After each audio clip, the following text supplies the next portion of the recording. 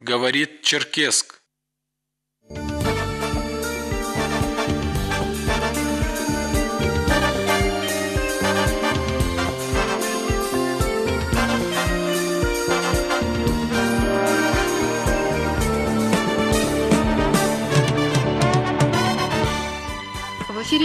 Информационно-аналитическая программа радио Карачаева-Черкесии «Ракурс» с Ритой Неровой.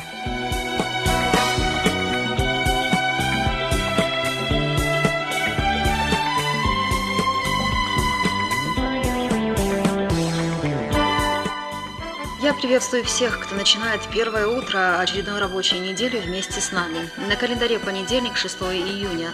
Надеюсь, этот день станет для каждого поистине добрым и принесет успеха в любых начинаниях. Ну и, как обычно, в начале программы небольшой анонс главных тем сегодняшнего выпуска. В Карачаево-Черкесии, как и России в целом, проходят итоговые государственные экзамены, как субъект подготовился к их проведению. Республика на пороге важной государственной кампании – проведения Всероссийской сельскохозяйственной переписи. И о некоторых нюансах, касающихся изменений в приказе Минтруда, предусматривающие установление инвалидности по критерию степень расстройства функции организма. Все эти темы мы раскроем подробно через считанные секунды.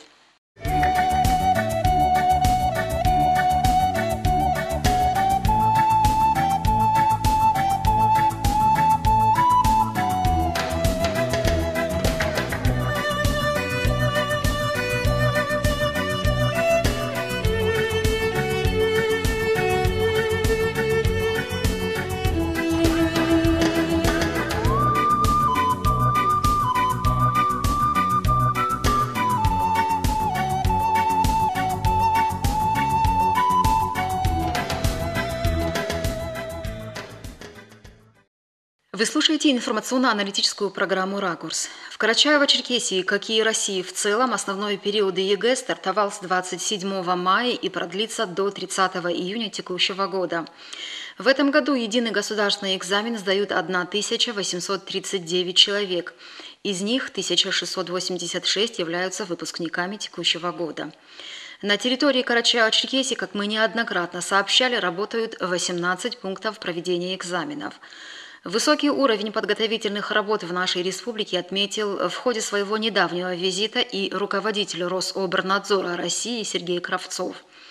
Свидетельством проделанной колоссальной работы по подготовке к проведению этих важных кампаний, то есть ЕГЭ и ГИА, являются уже состоявшиеся экзамены по ряду предметов, которые в целом прошли объективно и организованно, рассказывает Валерия Дагужиева.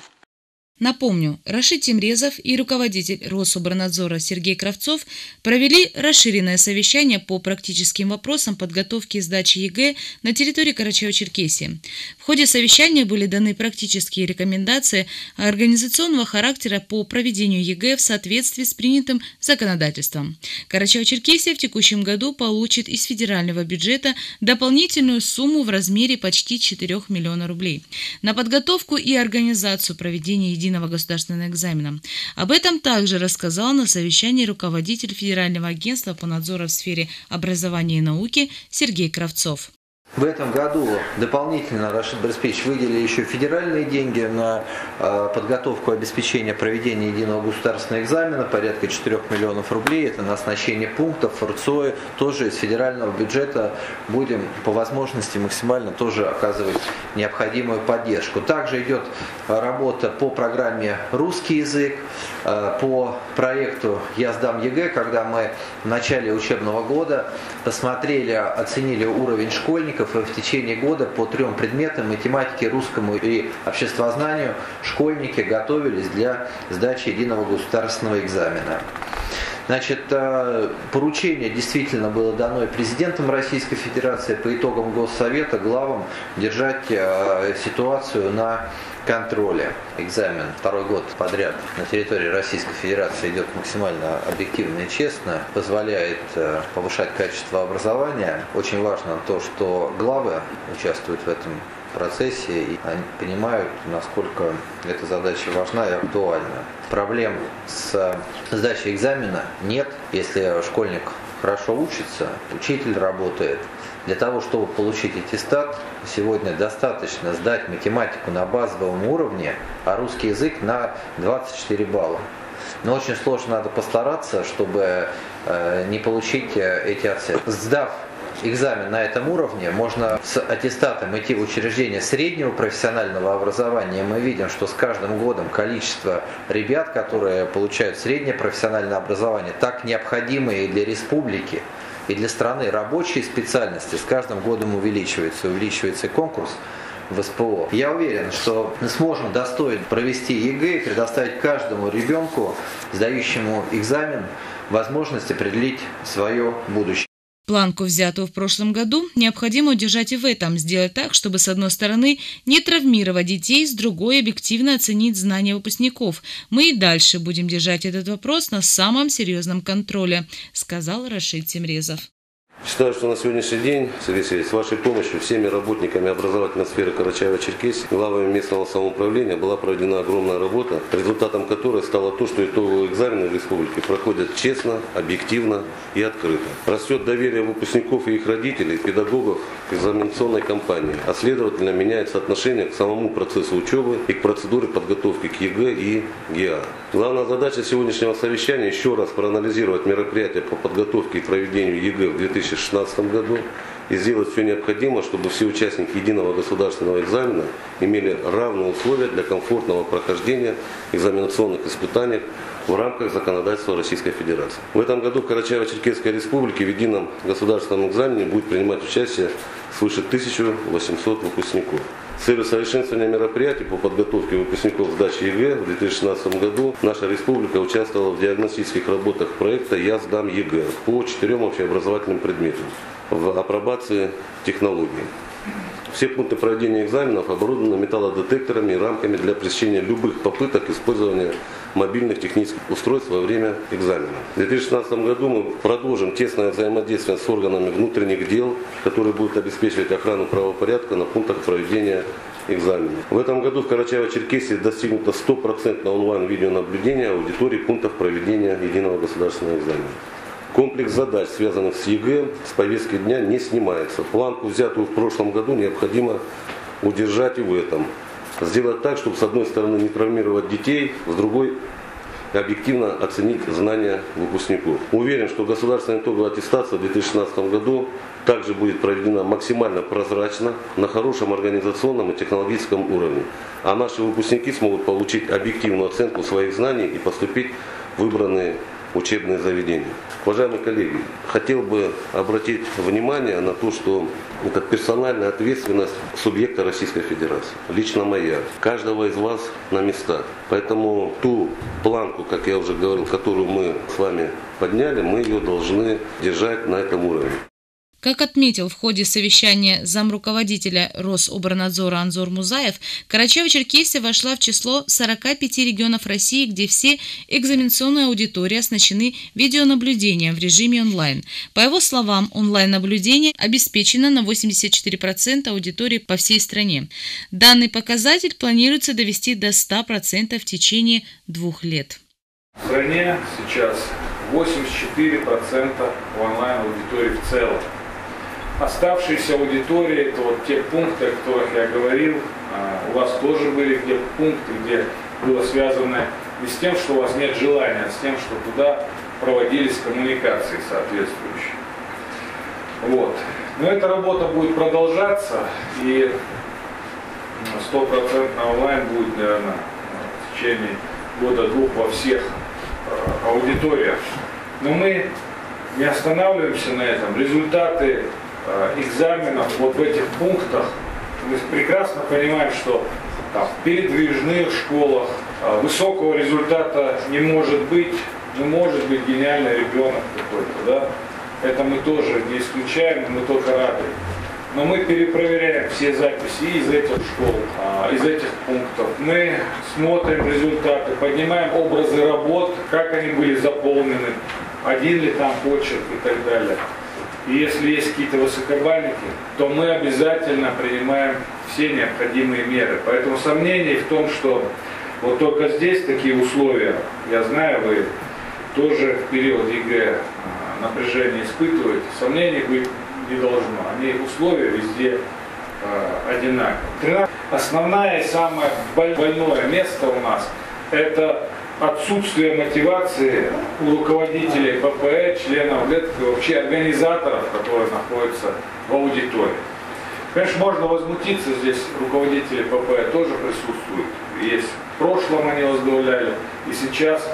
Ну что нам говорит статистика? По итогам досрочного этапа выявлено 460 нарушений, там часть со стороны организаторов, часть участниками, выпускниками. По итогам 260, там свыше 260 удалены за мобильные телефоны и шпаргал. В каждом пункте у нас присутствовал федеральный общественный наблюдатель инспектор, и были онлайн-наблюдатели. Так вот, из этого, из 260, региональные вот, организатор в аудитории, руководитель ПП, член ГЭК, региональный общественный наблюдатель, они выявили всего лишь 18 человек. Всех остальных выявили федеральные онлайн-наблюдатели, федеральные общественные. То есть если мы сейчас откажемся от этого института, мы можем отказаться от камеры и так далее. Мы с вами прекрасно понимаем, что вот досрочный этап, если бы нас не было нашего присутствия федерального, а, около 240 молодых людей воспользовались телефонами и шпаргалками, и никто бы им не помешал и не собирался. Помимо этого, в текущем году в Карачаево-Черкесии будет вестись апробация новых технологий во время проведения ЕГЭ. В частности, впервые контрольно-измерительные материалы КИМ будут распечатываться и сканироваться в пунктах проведения экзаменов. Полный переход на новый формат работы с КИМами планируется осуществить до 2020 года. Контрольно-измерительные материалы печатаются перед учениками. Контрольно-измерительные материалы регион получает только за час по сети интернет до экзамена. Не регион, а пункт получает уже. Все, вся эта цепочка из э, обслуживающего персонала исчезает. Скрыть контрольно-измерительный материал невозможно, нечего скрывать. Перед ребятами печатаются работы.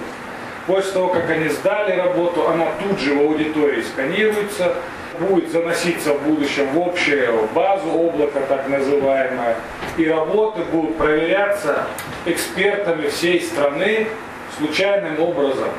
Но один будет фильтр поставить, ни одна работа выпускников Карачаева-Черкесии не будет проверена ни одним экспертом предметной комиссии из Карачаева-Черкесской. И у всех остальных такая же ситуация. То есть из общего облака по количеству выпускников, по квотам будут спускаться сканы, их проверят, и это давление мы тоже снимем, и эти фальсификации тоже исчезнут. Но самое главное, мы не можем заменить работу организатора и руководителя ППЭ, таких роботов еще не придумали, такой техники нет. И вот это самое слабое место, где мы не можем сказать, что экзамен у нас приобрел идеальную модель. Вот на сегодняшний день мы не сможем. Благодаря усилиям главы Карачаева-Черкесии Рашида Тимрезова в этом году было достигнуто 100% онлайн-наблюдений во всех аудиториях. Все 18 пунктов, а это 234 аудитории республики, уже снабжены системой наблюдения. Все учащиеся 11 классов поставлены в абсолютно равные условия. Все это выполнено из средств республиканского бюджета, подчеркнула министр образования и науки Карачаева-Черкесии Инна Кравченко. Все аудитории, задействованные в ходе единого государственного экзамена в 2016 году, обеспечены стопроцентным онлайн-наблюдением. Весь период проведения государственной итоговой аттестации будет функционировать ситуационный центр на базе Карачаево-Черкесского республиканского института повышения квалификации работников образования. Таким образом, проведена плановая подготовительная работа по подготовке к проведению государственной итоговой аттестации в 2016 году в Карачаево-Черкесской республике, результат которой во многом будет зависеть от добросовестного выполнения своих обязанностей должностными лицами всех уровней.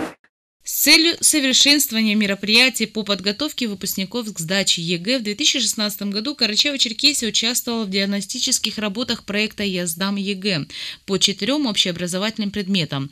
В апробации технологии печати, контрольно-измерительных материалов, пунктах проведения экзаменов и технологии сканирования бланков ответов в пунктах. На сегодняшний день ребята уже сдали три обязательных ЕГЭ. Все пункты проведения экзаменов оборудованы металлодетекторами и рамками для пресечения любых попыток использования мобильных технических устройств во время экзаменов.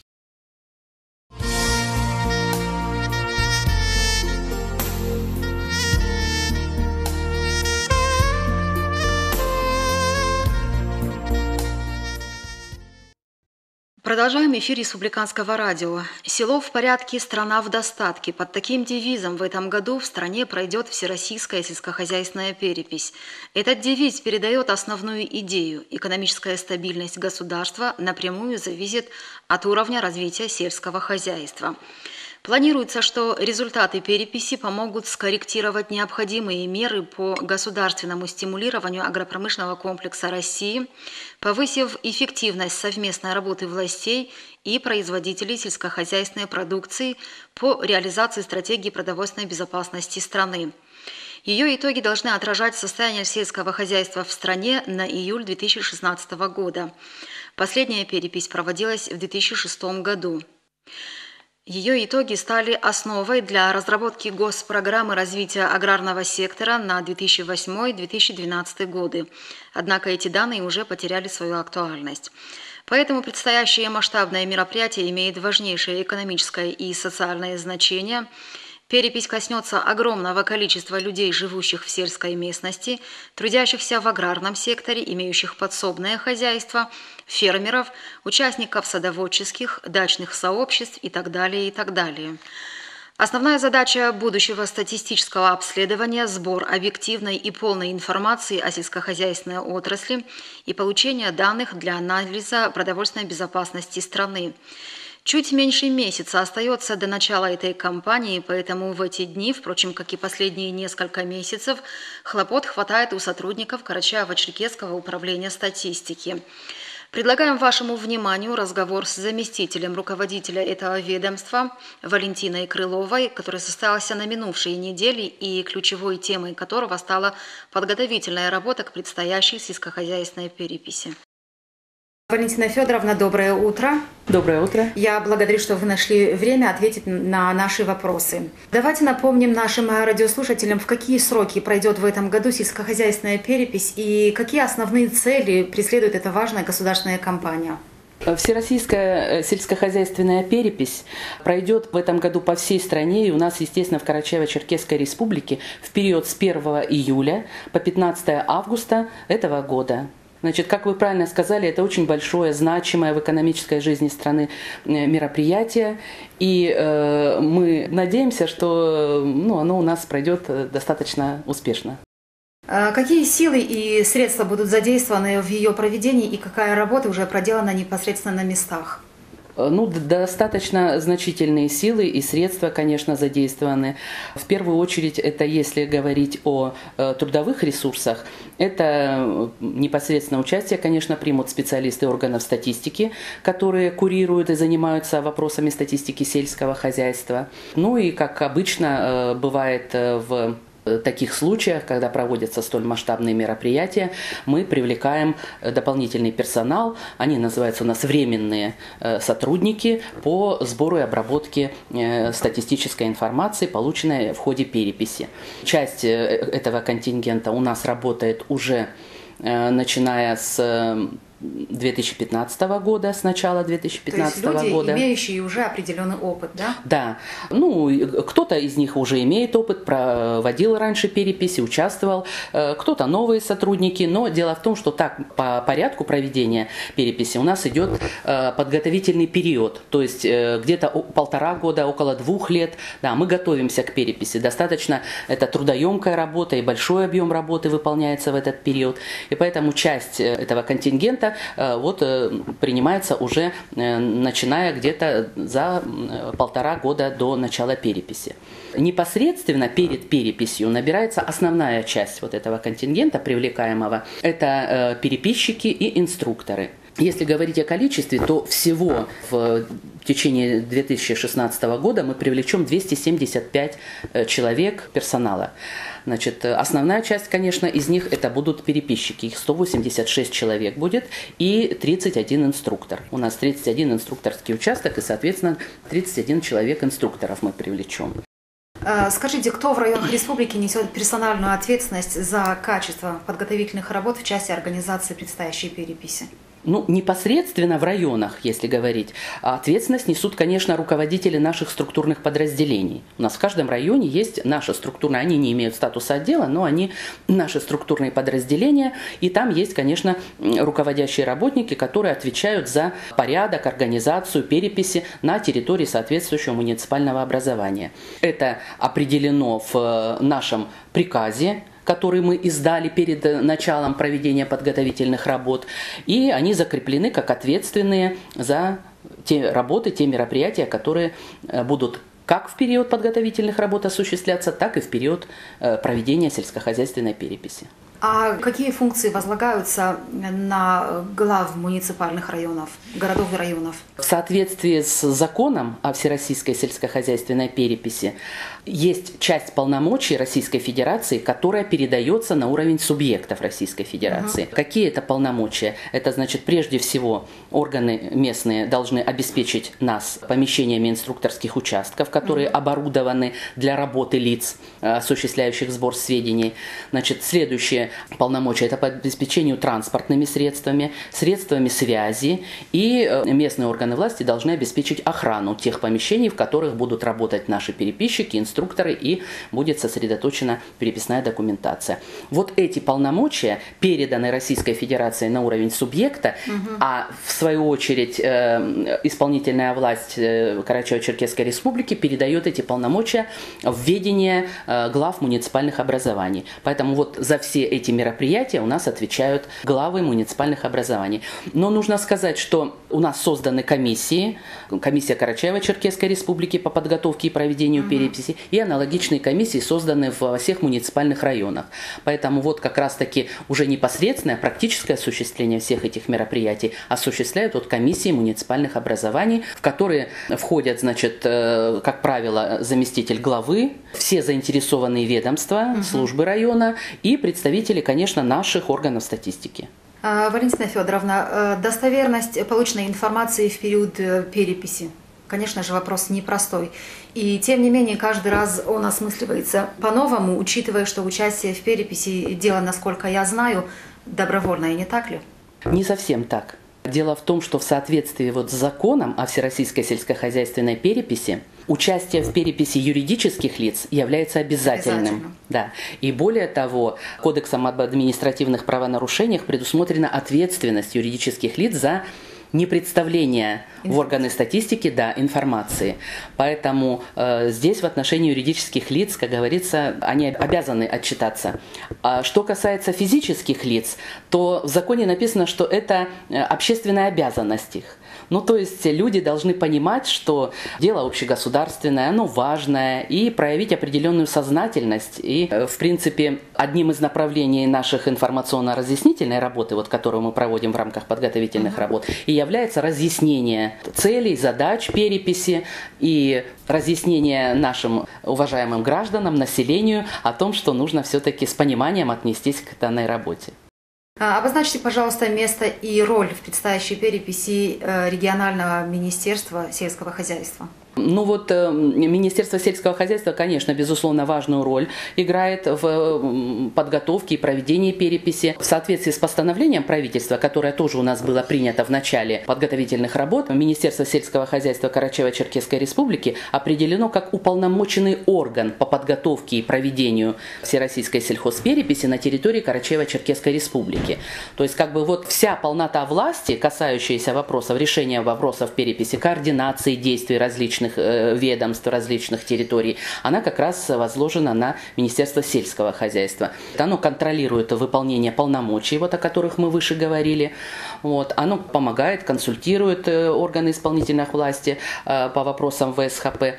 Оно распределяет и устанавливает порядок выплаты э, субвенций, то есть готовит проекты нормативных документов, которые определяют порядок и условия выплаты субвенций из федерального бюджета, которые выделяются для погашения расходов, которые вот э, органы местного самоуправления будут нести в связи с проведением переписи. Поэтому ну, достаточно э, существенная роль у нас Министерства сельского хозяйства. Понятно. Чуть забегая вперед, вот такой вот вопрос. В какие сроки будет обработана полученная в ходе переписи информация и будет ли она э, в определенной степени влиять на изменение выработки новой стратегии развития сельского хозяйства, ну, скажем, на ближайшие годы? Ну, обработка э, материалов переписи будет э, начата уже непосредственно по окончании переписи. Согласно календарному плану, уже в сентябре этого года мы начнем обрабатывать поступающие первичные данные, которые мы получим по итогам переписи. Естественно, объем информации большой, процесс достаточно длительный. Обработка будет осуществляться до конца 2016 года и весь 2017 год и даже до 2018 года. Да, длительный процесс, но предварительно окончательные итоги переписи будут уже доступны, опубликованы э, в четвертом квартале 2017 года. Уже в следующем году. В следующем году, да. Окончательные итоги то есть уже по полной программе, по полному э, перечню показателей будут доступны пользователям в четвертом квартале 2018 года. Э, Валентина Федоровна, важным звеном в подготовке этой серьезной кампании является э, подбор и обучение переписчиков. Чуть выше мы об этом говорили. И здесь уже по имеющемуся опыту проведения, впрочем, не только сельхозпереписи, чаще всего и возникают проблемы. Как они будут решаться в этом году? Ну, в принципе, они уже решены, потому что у нас очень мало времени осталось до начала переписи. Э, в принципе, месяц у нас до начала переписи, а в соответствии с, э, опять же, со сроками привлечения вот переписного персонала, инструкторов и переписчиков, они должны у нас начать работу уже э, в июне месяце инструкторы с 9 июня, э, переписчики с 19 июня. То есть до начала обхода подворного они должны пройти обучение, они должны изучить э, методологию и так далее. Предварительный обход осуществить, ознакомиться со своими составом переписного участка и так далее. Поэтому вот уже с э, июня месяца этот привлеченный персонал должен работать. И мы, естественно, уже подобрали его практически в полном объеме. Сейчас у нас осталось резерва немножечко там вот подобрать. А так уже, в принципе, у нас нас э, весь контингент, вот о котором я сказала, 186 переписчиков и 31 инструктор, у нас уже подобраны вот силами наших районных э, и городских подразделений. Поэтому вот мы сейчас э, в ближайшее время будем обучать этот персонал для того, чтобы они уже были компетентны в вопросах проведения переписи. А, вопрос, который волнует многих. Не могу не коснуться весьма серьезной проблемы, связанной с безопасностью проведения переписи. Не только с точки зрения охраны собранных материалов, но и непосредственно механизма получения информации. Как отличить в таком случае переписчика с аферистом, пытающимся получить сведения, которыми он потом воспользуется в своих интересах. Немаловажный вопрос, я думаю. Да, безусловно, конечно. Но здесь, я думаю, тоже продумано, э, в общем-то, это не первая перепись, и эти все вопросы продуманы организаторами. Как можно узнать переписчика? Ну, во-первых, переписчика можно узнать визуально по его экипировке. Значит, мы получили э, специальные жилеты такие светоотражающие, они синенького там и зелененького цвета, солнцезащитный козырек, то есть э, будет одет, э, соответственно, переписчик в ту атрибутику, которая будет иметь символику угу. переписи. Более того, каждый, абсолютно каждый переписчик будет иметь удостоверение. Но поскольку там удостоверение не содержит фотографии, переписчик при обращении к гражданину должен показать обязательно паспорт. Вот это как бы граждане должны понимать и знать, что Переписчик при посещении домохозяйства показывает удостоверение и паспорт и представляется, кто он и с какой целью он пришел. Поэтому здесь мы все-таки надеемся, что люди достаточно узнаваемые, наши переписчики, поэтому э, как бы уже население может их узнавать. Что касается других вопросов, вот, допустим, обеспечения правопорядка, охраны, допустим, у нас ведь и переписчика тоже нужно охранять. Разные есть ситуации, да. Поэтому здесь у нас, конечно, опять же, нормативными документами документами даны указания органам внутренних дел, которые тоже должны нам содействовать в проведении переписи, обеспечивать безопасность как переписчиков, так и безопасность граждан, поддерживать правопорядок, соответственно, в период переписи, в необходимых случаях осуществлять охрану зданий административных, где будут размещены инструкторские участки. Поэтому ну, мы так считаем, что все-таки все должно быть с этой точки зрения благополучно. А, Валентина Федоровна, все-таки у Карачаево-Черкесского управления статистики есть уже опыт, как бы на моей памяти две кампании проведены. Были случаи, когда вот к людям приходили э, лжепереписчики? Ну, знаете, мне трудно ответить на этот вопрос. Вот у нас э, не две, уже третья перепись, две переписи населения были и перепись сельскохозяйственная.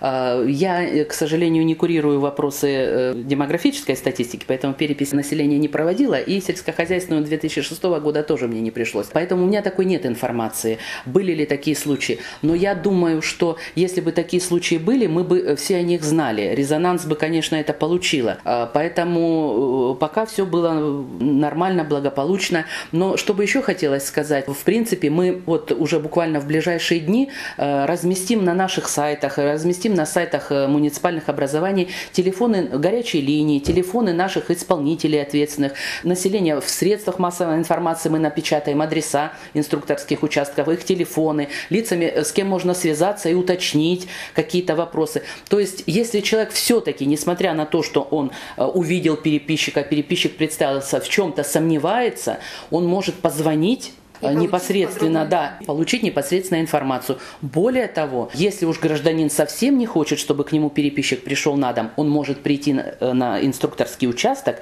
и дать сведения о себе, ответить на вопросы переписного листа непосредственно на инструкторском участке. Это тоже допускается порядком переписи. То есть как бы эта проблема тоже исключена. Конечно, да? конечно. Если человек не хочет пускать, допустим, во двор переписчика, это тоже он, это его право. Он может на все вопросы ответить возле калитки, возле забора, там, где удобно. Вправе выбирать гражданин, как ему удобно ответить на вопросы, да. как где удобно принять переписчика. Не один, так другой вариант. Абсолютно, да. Поэтому все это, естественно, мы разъясняем, и наши переписчики будут э, в курсе всех этих вопросов.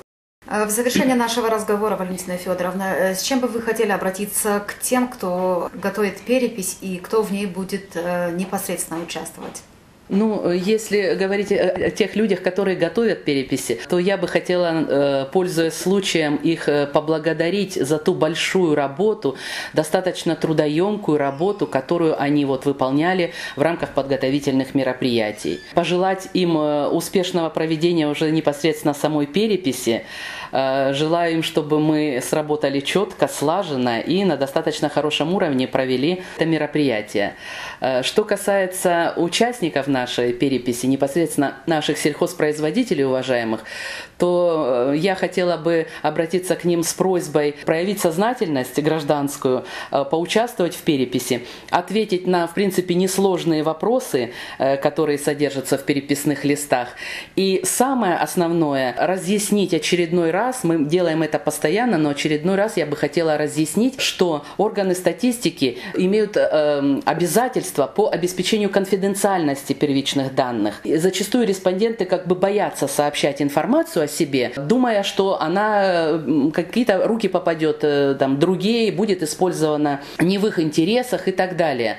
Поэтому э, я хочу еще раз разъяснить, что бояться здесь нечего. Мы берем обязательства, мы даем подписку о неразглашении, Закон о всероссийской переписи, закон о статистике обязывает нас э, хранить, как говорится, вот эту конфиденциальность, обеспечивать эту конфиденциальность.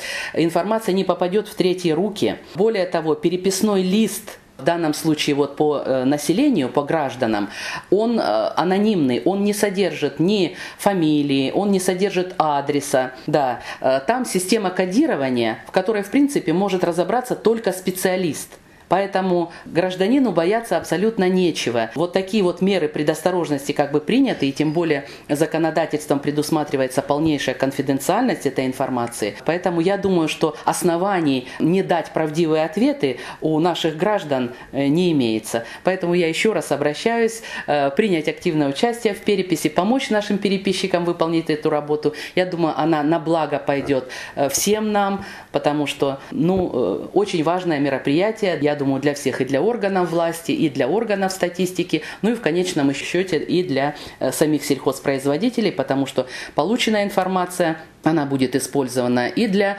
выработки, может быть, каких-то мер поддержки сельхозпроизводителей, для развития э, сельского хозяйства в дальнейшем успешного и других важных вопросов. Благодарю вас за ответы на наши вопросы. Желаю вам успехов в предстоящей нелегкой кампании, Валентина Федоровна. Спасибо вам. А нашим радиослушателям напомню, мы беседовали с заместителем руководителя Карачаево-Черкесского управления статистики Валентиной Крыловой.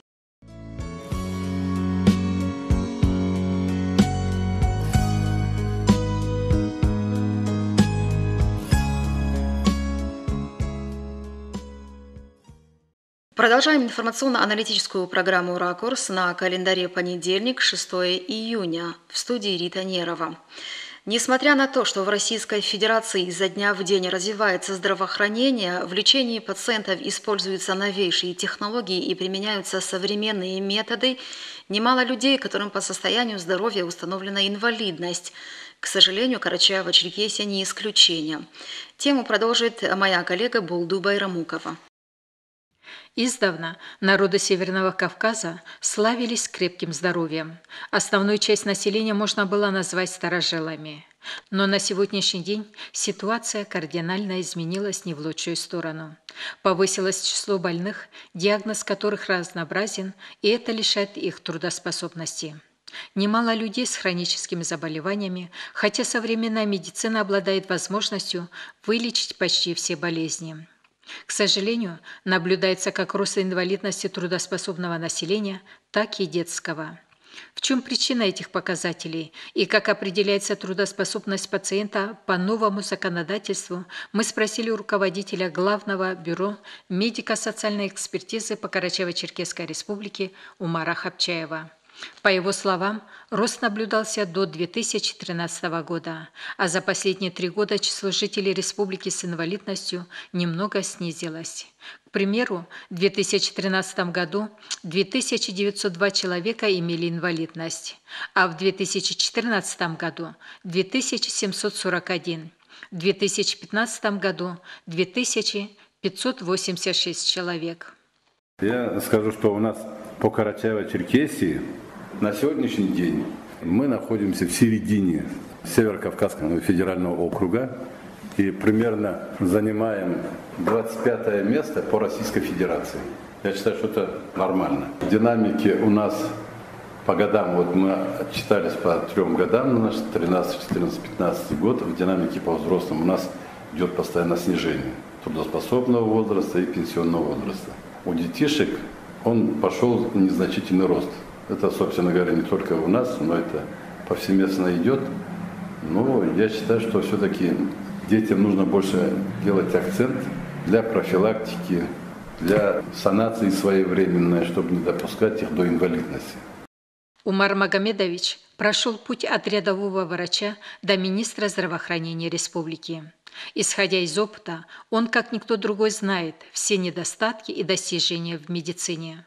По его мнению, своевременно проведенная диспансеризация позволяет на ранних стадиях выявить заболевание и помочь человеку справиться с недугом, а порой и вовсе его вылечить. Что приводит к инвалидности? На сегодняшний день потеряна на несколько лет всеобщая диспансеризация, она опять реанимировалась. Это на пользу только населения, только больным, выявляет в ранних стадиях те или иные заболевания, берется это все на диспансерный учет, идет тотальная санация, то есть это лечение. Потом идет э, наблюдение по 30 форме.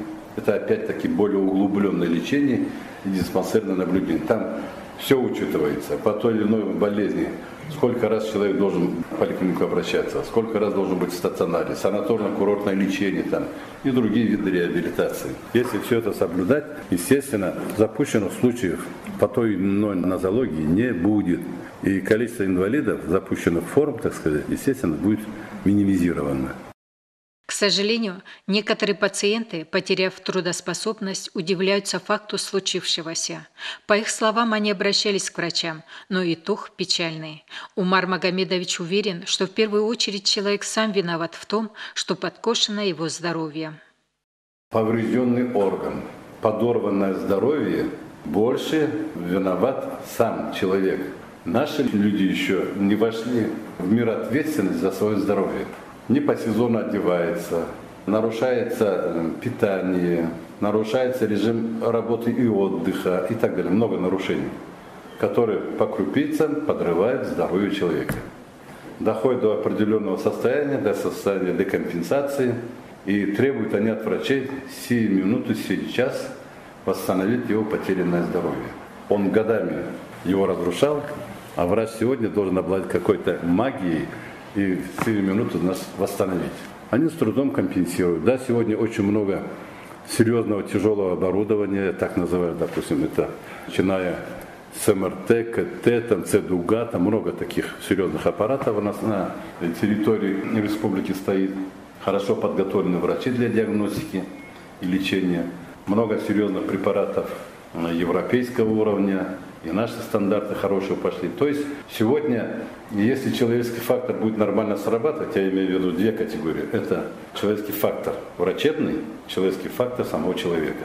Если человек себя уважает, он должен серьезно относиться к своему здоровью, начиная от питания, режима отдыха и работы. Помимо человеческого фактора больного и человеческого фактора врача, есть множество обстоятельств, в результате которых по факту назначается инвалидность. Умар Хапчаев озвучил лишь некоторые из них. Врожденная патология, близкие связи, раз, потом тот же детский церебральный паралич и другие патологии нервной системы, потом переходящие плавно в психиатрию, это нерациональное акушерское пособие в период родов.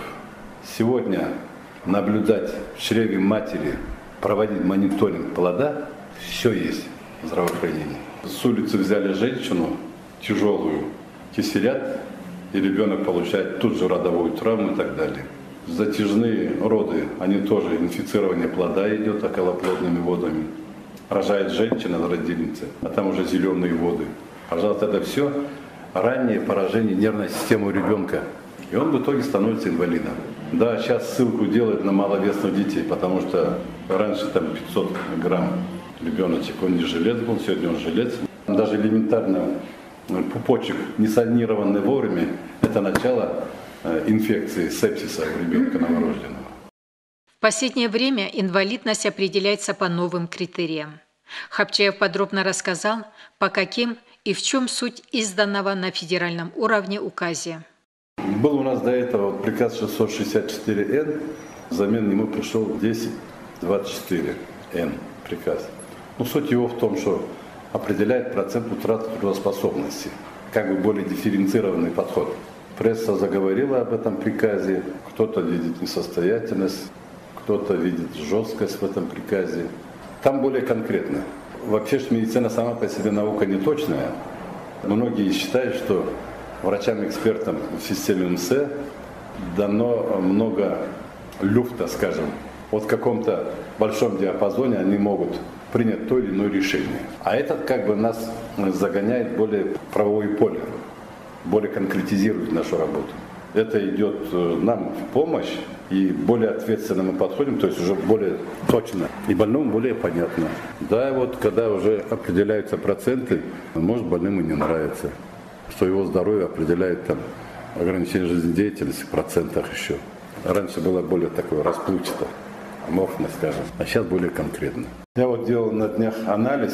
Ну, где-то 250 человек мы в год отказываем в определении инвалидности. Это о чем говорит? Это говорит о том, что направляющее учреждение специалисты или злоупотребляют, или по незнаниям направляют людей, которые болеют, но нет показаний для признания их инвалидом той или иной группы. Больше отказываем э, лицам в трудоспособном возрасте, меньше людям пожилого возраста, пенсионного возраста. Конечно же, нововведения не всем понятны. Умар Хапчаев пояснил на примере диагноза сердечно-сосудистой системы. Есть серьезная, допустим, патология сердечно-сосудистой системы. Больной имеет, допустим, нарушение функции коронарных сосудов. Там много причин. Но одна из причин это атеросклероз. Опять-таки ненормальное питание, ненормальный образ жизни, который привел вот к этому. Больному по высоким технологиям, затратами государства восстанавливается кровоток коронарной системы. Сейчас это стентирование называется, там, ну типа пружинок наводится через сосуды нижней конечности. А более тяжелых случаях там проводится аортокоронарное шунтирование. В том или ином случае а, здоровье человека значительно улучшается, и мы первый год определяем группу инвалидности, третью, на период восстановления, а со следующего года мы можем полностью реабилитировать. Естественно, государство а, считает свои деньги и нас на это нацеливает. По словам главного эксперта медико-социальной экспертизы, согласно новому законодательству о назначении инвалидности, могут сначала назначить инвалидность на один срок, а если после интенсивного лечения пациента болезнь не отступает, то инвалидность будет пожизненной. Рак, допустим. Если серьезная форма рака там и распространенность первичного очага там, в виде метастазов есть, нет, там много там критериев оценки. Бывает, сразу даем первую группу и бессрочно. Бывает, мы даем на два года, бывает, даем на один год. Все зависит от того, какие клетки сидят в каком органе. И насколько имеет место быть а, ограничение жизнедеятельности, зависит от этого. И в основу этого все закладывается такой термин – реабилитационный потенциал. Вот назначили ИПР, индивидуальную программу реабилитации на каждого. И следом может быть технические средства реабилитации. Если это все работает и больной постепенно реабилитируется, мы его держим. Если реабилитационный потенциал, мы тогда его отправляем на бессрочно, потому что с этим человеком уже работать смысла нет. Медицина ничего не может поправить. И люди зачастую всего этого не понимают. Оттуда идут трения. Несомненно, для каждого человека, утратившего трудоспособность, приходится очень трудно как материально, так и морально. Государством запланирована и оказывается помощь всем, кто потерял здоровье и нуждается в посторонней помощи. Во-первых, человек становится федеральным льготником. По разным заболеваниям есть федеральный сегмент обеспечения лекарственными средствами, есть региональный сегмент – 890 постановление, согласно этого постановления, есть ответственность регионов финансировать больного независимо от того, он имеет группу инвалидности или просто больной. Понятно, в регионах средств значительно меньше, чем в федеральном бюджете. Это кроме республик доноров, допустим, или краев областей доноров. А их же мало, а остальные как бы дотационными являются. Мою бытность в здравоохранении имели мы здесь ответственный склад, и федеральные деньги мы не получали, мы получали живым продуктом. А здесь же мы обеспечивали свой сегмент по мере наличия тех или иных, я имею в виду в объеме, средств. Пенсии закладывается социальный сегмент. Это заложено и санаторно-курортное лечение, и человек имеет право на эту составляющую приобретать те средства, которые находятся в реестре, а бывает они отказываются от этого сегмента социальной составляющей, а исполнительная власть законодательная, и его тоже должна обеспечивать. При проверке бывают случаи, что поставленный диагноз врачом не соответствует фактическому диагнозу инвалида, хотя не соответствует степени инвалидности. Это чаще встречается у детей в возрасте до 18 лет.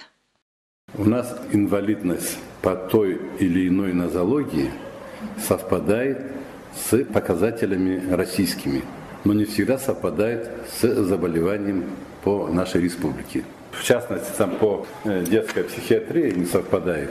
Но это мы считаем, что на каком-то этапе злоупотребляют э, неврологии. Родители не хотят показать, что ребенок болен психическим заболеванием, до каких-то пор он идет как неврологический больной, потом уже истину скрыть не могут и получать э, расхождение у нас э, с здравоохранением. А так в целом совпадают. За плечами руководителя Главного бюро медико-социальной экспертизы Умара Магомедовича несколько десятков лет работы в системе здравоохранения. Исходя из личного опыта, он уверен, что все врачи должны работать сообща, вместе искать пути правильного лечения, используя все новейшие технологии и медицинскую аппаратуру. Это особенно важно, когда решается дальнейшая судьба пациента. В этой связи мы обязаны друг с другом взаимодействовать. Мы должны показывать рост по той или иной нозологии по инвалидности, сопоставить ростом заболеваний значит, по здравоохранению и проводить вот такую работу.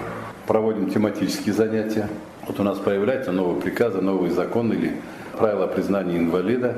Мы обязательно это доводим до сведения тех врачей, которые работают в комиссиях, которые направляют к нам вот по 8 форме, значит, получатели госуслуг. А без этого они не смогут работать, потому что как минимум они должны знать все законодательные акты и нормативы, правила признания человека инвалидом, чтобы сознанием дела направлять. По словам опытного врача Умара Хапчаева, в последние годы медицина развивается семимильными шагами, и что это дает возможность своевременно вылечить заболевания. Он призвал население следить за своим здоровьем, вести здоровый образ жизни и заниматься физической культурой.